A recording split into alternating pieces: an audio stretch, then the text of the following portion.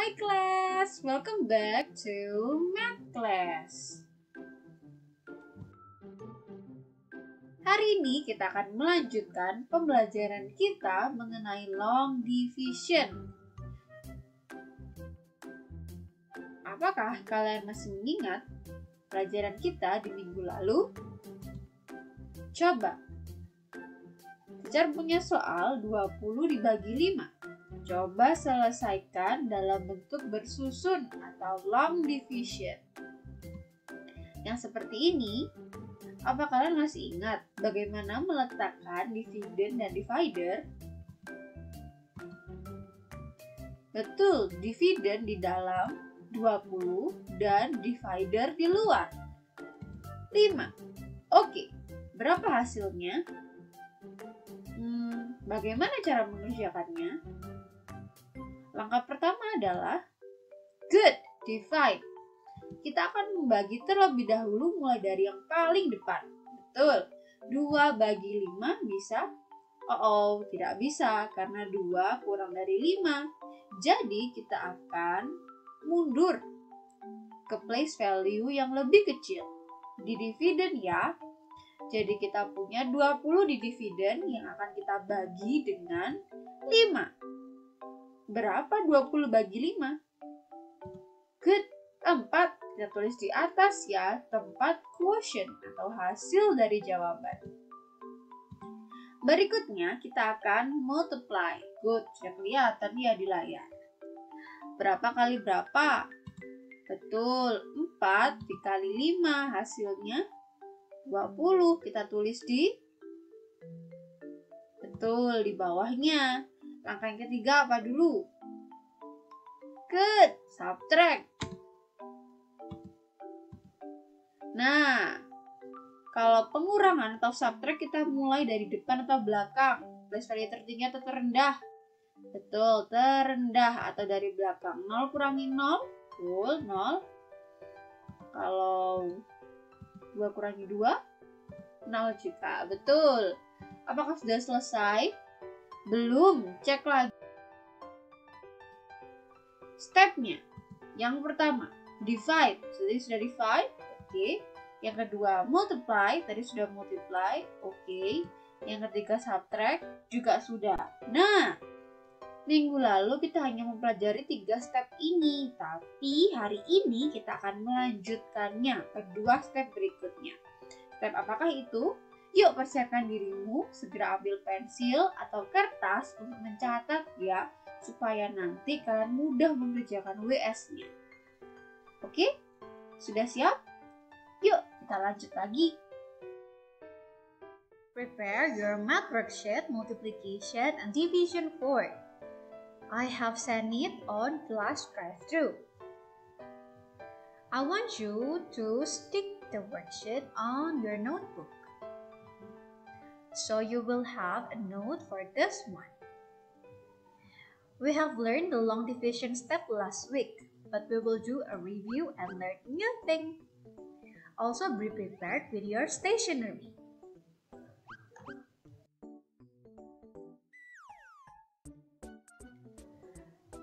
Now, what if I have 24 divided by 2? Let's write it on long division. Yuk kita tulis dalam bentuk bersusun atau korogatif. Nah, kita tulis yang di dalam angka 24. Good job. Lalu di luarnya akan kita tulis angka 2. Betul. Kita akan bagi 24 bagi 2. Tapi ingat, kita akan mulai dari ones atau tens kalau penjumlahan dan pengurangan dan perkalian kita mulai dari belakang. Tapi kalau pembagian kita akan mulai dari depan ya. Oke, okay, we will start from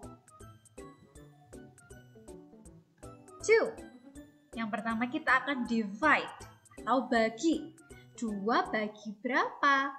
Bagi 2. 2 bagi 2 berapa? Atau kalau bingung boleh 2 dikali berapa yang hasilnya sama dengan 2. Satu, good kita tulis di atas ini ya. Dua bagi dua hasilnya satu. Setelah divide, we will good multiply. Mana yang harus dikali? Yang terakhir kita tulis satu dikali dua berapa? Dua. Kita tulis di mana? Di bawah dua yang warna merah. Betul sekali di sini. Oke. Setelah multiply, we will we will do subtraction. Oke, kita akan kurangi. Mana yang harus kita kurangi?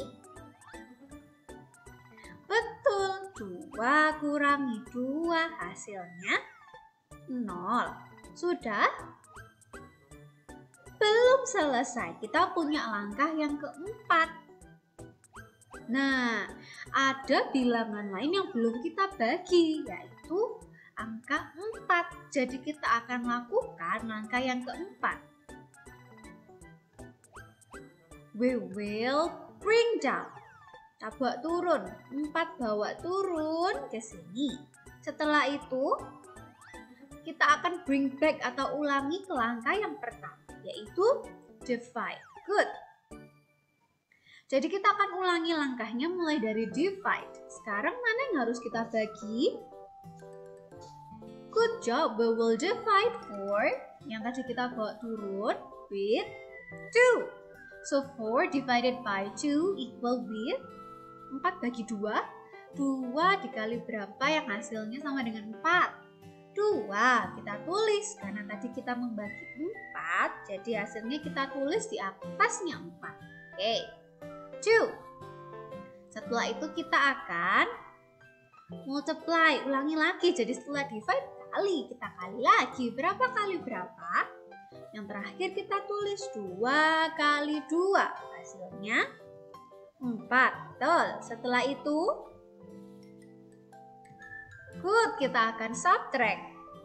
Kita kurangi. Mana yang dikurangi? Iya, yang 4 minus 4, 0. Apakah sudah selesai?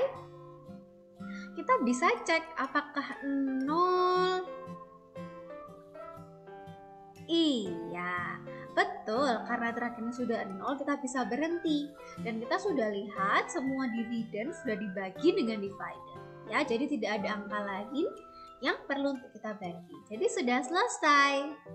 So, 24 divided by 2 equal with 12. Langkahnya sama. We will divide, multiply, and subtract, bring down, and lastly bring back or repeat the step. Silahkan tulis jawabannya di WA Smu. Kalau masih bingung, boleh ulang lagi ya videonya.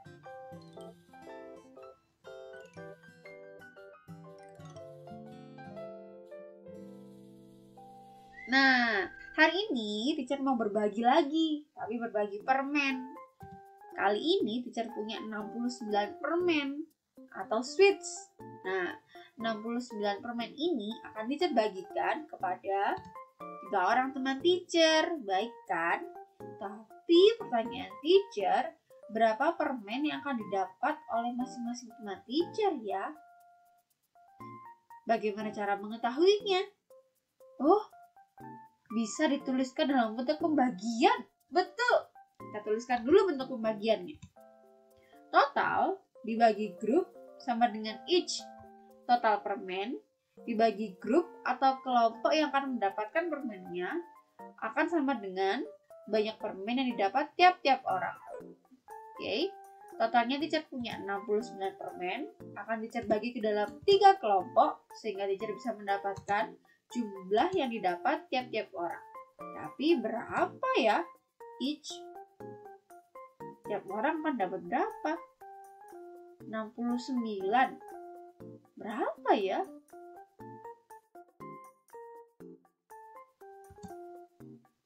Nah, untuk soal yang seperti ini, kita dapat selesaikan dengan menggunakan long division. Tulis dulu bentuk pembagian bersusunnya. Masih ingat kan caranya? Nah, coba tulis di kertas kalian. Kalau sudah, langkahnya atau tahapannya masih sama. Tahap yang pertama adalah Betul, selalu mulai dari divide. Divide atau bagi yang mana? Place value tertinggi atau terendah? Dari depan atau dari belakang? Kalau divide, kita selalu mulai dari terdepan, plus value tertinggi. 6 dibagi berapa? Good, dibagi divider. 6 bagi 3 hasilnya 2. Kita tulis di atas ini ya. Setelah bagi, kita akan kalikan. Kalikan angka yang terakhir kamu tulis, 2. Kalikan dengan dividernya 3. 2 kali 3 hasilnya 6 kita tulis lagi di bawah. Nah dividen yang tadi kita bagi. Setelah multiply caranya masih sama. Kita akan subtract atau kurangi. Kurangi berapa? Ya yang tadi terakhir kita tulis. 6 kurangi 6 berapa? 0 nah apakah sudah selesai belum. Kenapa? Karena di dividen tidak hanya ada angka 6, tapi juga, juga ada angka 9. Karena itu kita juga perlu membagi angka 9 dengan dividernya. Nah, kita lanjutkan ke langkah berikutnya ya. Langkah keempat, kita akan mulai dengan bring down atau kita akan bawa turun. Bawa turun apa, teacher? Nih, Pak, turun angka 9. Angka dividen yang belum kita bagi. 9 kita bawa turun. Oke. Okay. Bring down. Kita bawa turun angka dividen yang akan kita bagi selanjutnya. Ya, mundur satu place value saja. Sudah. Setelah bring down, kita akan bring back. Bawa balik lagi. Balik ke mana? Ke tahapan awal atau divide kita akan ulang, ulangi lagi langkahnya. Mulai dari awal, kita akan divide. Divide berapa, teacher? Ya, kita tadi bawa turun angka berapa? 9. Ya, kita akan bagi angka 9 ini dengan sama tetap dividernya tetap 3. 9 bagi 3 hasilnya 3 kita tulis nah di tempat lurus ya lurus place value yang tadi kita bagi 9 ones jadi 3 juga ones ya. 9 ones bagi 3 ones hasilnya juga 3 ones good. Setelah divide tuh caranya masih sama. Setelah divide kita akan multiply. Apa yang terakhir kamu tulis? 3 kita kalikan dengan 3 hasilnya 9 kita tulis di sini. Oke. okay. Setelah multiply, tetap kita akan subtract atau kurangi. Kurangi di mana, teacher? Di yang terakhir kamu tuliskan. Betul. Kita akan kurangi. Kurangi selalu dari place value yang paling belakang. 9 kurangi 9, 0. Nah, kalau begini apa sudah selesai? Cek lagi. Apakah semua dividen sudah terbagi? Sudah. Jadi, sudah selesai long division stepnya. Kalian sudah mendapatkan hasilnya di kolom yang berwarna biru. 69 dibagi 3 hasilnya 23. Oke. Sampai sini mengerti? Diresapi, dipahami. Oke. Nah, jadi ingat langkahnya yang pertama, betul, divide yang kedua, Betul, multiply yang ketiga. Good, subtract yang keempat. Bring down, bawa turun angka yang akan kita bagi lagi dan bring back, mulai lagi dari awal tahapan. Oke. Okay. Now we will make it a little bit harder. What if 468 divided by 2? Tenang, ya kita tulis dulu dalam bentuk bersusun. Long division. 468 or 468 divided by 2. Ingat caranya tetap sama, jangan panik. Yang pertama kita akan divide first. Good. Mana yang harus dibagi? Mulai dari depan, betul ingat ya, dari depan. Jadi kita akan bagikan 4 divided by 2, so it will be equal with 2, tulis di atasnya. Lalu Multiply berapa kali berapa? Betul, 2 times 2 equal with 4. Setelah itu, betul kita akan subtract mana yang harus dikurangi. Yang tadi kita tulis 4 minus 4, 0. Sudah selesai? Belum, masih ada angka lain di dividen yang perlu kita bagi. Ya, jadi kita akan lanjutkan ke langkah yang keempat. 6 kita akan langkah yang keempat dulu. Bawa turun bring down. Kita bawa turun angka 6 lalu kita bring back atau ulangi langkahnya. Jadi kita akan bagi lagi.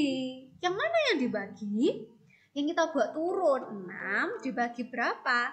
Pembaginya tetap tidak berubah. Jadi kita akan bagi dengan 2 6 divided by 2 equal with 3 next kita multiply yang terakhir kita tulis 3 multiply by 2 6 write it down here and then sama lanjut kita subtract. Yuk mana yang dikurangi?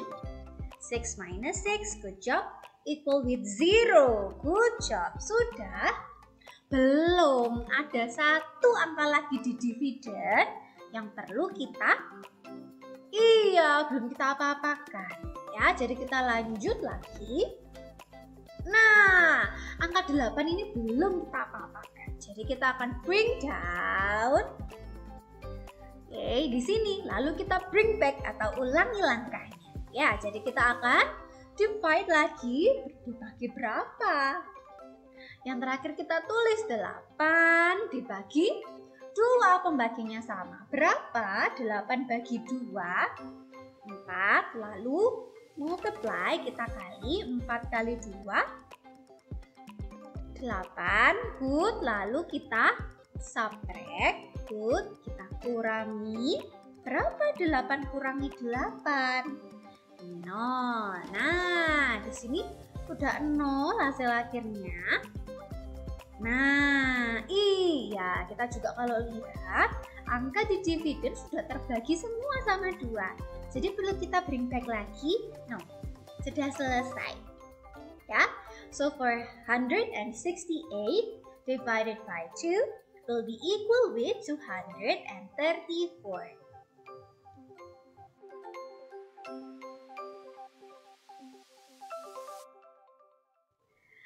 Nah, itu tadi penjelasannya. Now it's time for us to practice.